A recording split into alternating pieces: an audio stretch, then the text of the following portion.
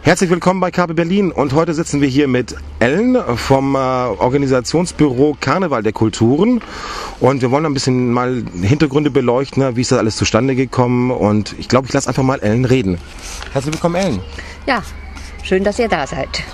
Dankeschön. Wie, ähm, du bist von erster Stunde dabei und wie lange existiert der Karneval der Kulturen? Also der Karneval der Kulturen existiert seit 1996 und ich bin zwar seit der ersten Stunde dabei, aber nicht hier im Organisationsbüro, sondern ich ähm, bin, äh, habe selber lange Jahre in Mexiko gelebt, bin mit einem Mexikaner verheiratet und als der Karneval zum ersten Mal auf den Straßen war, hat er mit ein paar Freunden gesagt, da sind wir auf alle Fälle dabei und ich habe die organisatorisch unterstützt und so ist es geblieben. Und irgendwann bin ich hier ins Büro dazugekommen. Und ähm, wie ist das entstanden? Also wo, wo, wo lag die Grundidee? Na, die Grundidee äh, lag darin, also 96 erinnert man sich ja vielleicht noch so äh, daran, dass die Mauer war gefallen, Deutschland war vereinigt und es gab äh, sehr viele ausländerfeindliche Übergriffe äh, im Ostteil der Stadt und vor allen Dingen auch in Brandenburg.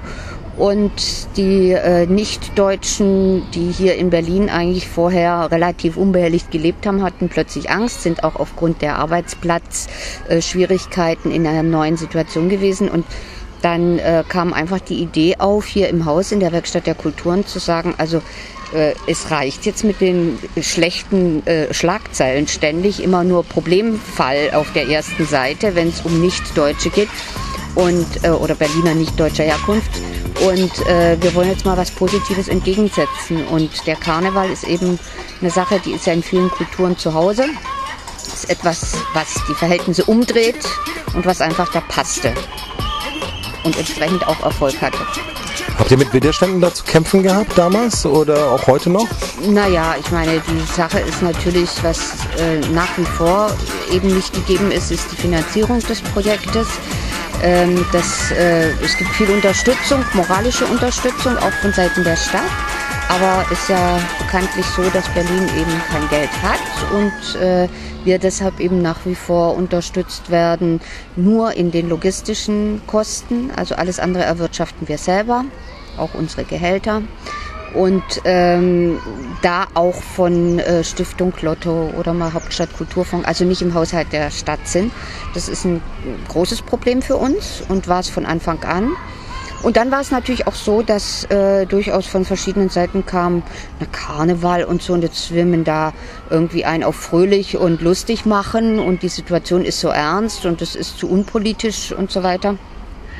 Die Vorwürfe kommen auch heute noch äh, gelegentlich. Aber das sind eigentlich Leute, von denen wir glauben, dass sie den Karneval gar nicht kennen. Oder nicht verstanden haben. Oder nicht verstanden haben, weil allein die Tatsache, dass Menschen auf die Straße gehen und eine Botschaft haben und das freiwillig machen und sich da engagieren und sagen, ich zeige heute, dass ich dazugehöre, ist eigentlich schon eine politische Aussage. Definitiv. Für mich persönlich spiegelt der Karneval der Kulturen ja auch immer wieder genau die, ähm, eigentlich so sehr kompakt das lustige, bunte Leben in Berlin eigentlich auch wieder. Ähm, wohin soll das jetzt noch weitergehen? Geht das noch weiter? Habt ihr irgendwelche Ziele, die ihr, sag ich mal, äh, vierjahresplanmäßig in der nächsten Zukunft erreichen wollt? Also was ein, ein Ziel ist, was nicht neu ist, sondern schon länger auf unseren Fahnen steht, ist eben, dass wir für Gruppen, die wirklich ähm, künstlerisch was vorhaben, ähm, auch Gelder zur Verfügung stehen, dass es eine Art Fonds gibt, wo sich Gruppen bewerben können. Es ist so, dass sich äh, insgesamt äh, die Gelder im kulturellen Bereich in Berlin natürlich sehr viele Menschen teilen müssen und wir haben mit Karnevalsprojekten keine Chance, äh, da unterzukommen. Das ist sehr häufig probiert worden, auch von sehr kompetenten Gruppen.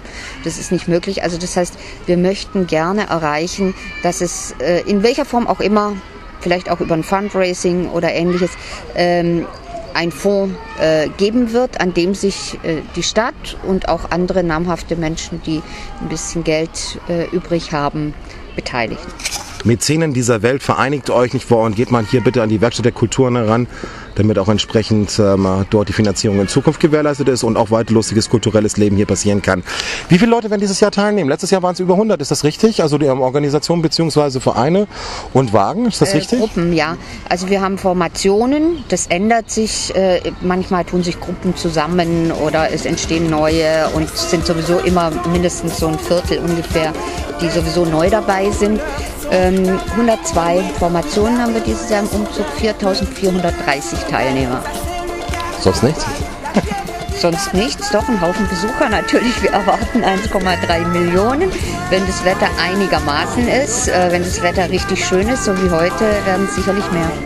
Sagst du uns gerade noch einfach die Daten, diese Eckdaten, von wann bis wann die Veranstaltungen sind, weil der Karneval der Kulturen ist ja nicht nur der Umzug.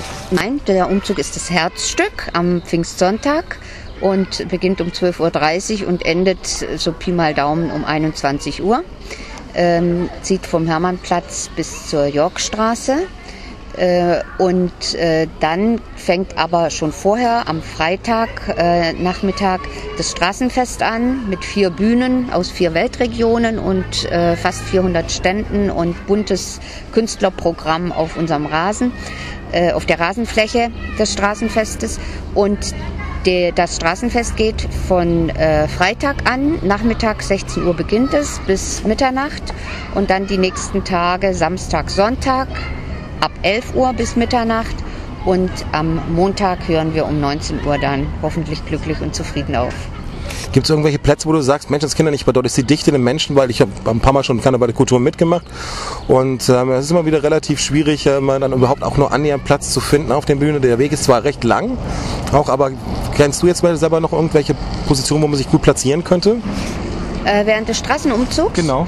Na, also ich würde empfehlen, wenn man wirklich richtig viel sehen möchte und nicht zum Beispiel einfach mitlaufen und mitfeiern möchte, würde ich empfehlen die Strecke vom Hermannplatz bis zum Südstern, weil dort äh, auf der einen Seite ja ein Park ist und äh, nicht so viele Wohnhäuser und dadurch auch das Aufkommen etwas geringer ist und äh, auch nicht so viele Läden dazwischen sind und Kneipen. Also da kann man wirklich guten Platz finden.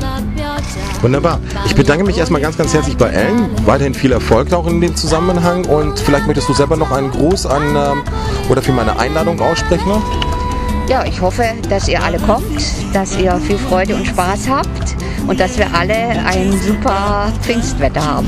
Guckt euch das mal an, was sollte da noch schlecht werden? Ich bin Trax, das war KP Berlin. Wir sehen uns ganz bald wieder und freuen uns auf das nächste Mal. Danke, tschüss.